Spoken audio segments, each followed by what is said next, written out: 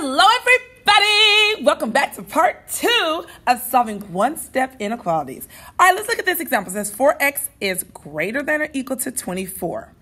Now, in problems like this, you notice that the 4 is multiplied to x. So, to get x by itself, I'm going to have to do the opposite of multiplication, which is division.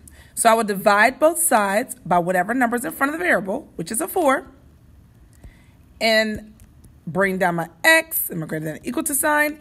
24 divided by 4 equals 6. So on my number line, I'm going to go to the number 6 and draw a closed circle. And it says x is greater than or equal to 6. So all the numbers that are bigger than 6 are on the right side of the number line. So I will shade the right side.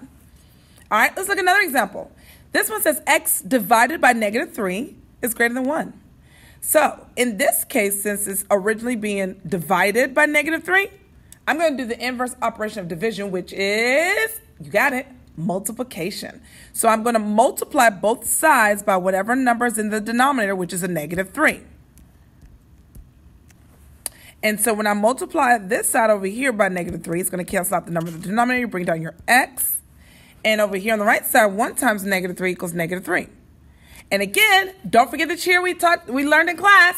When you flip the inequality sign? When you multiply or divide by a negative. So, since I multiply by a negative number, I'm going to flip my inequality sign from greater than to less than.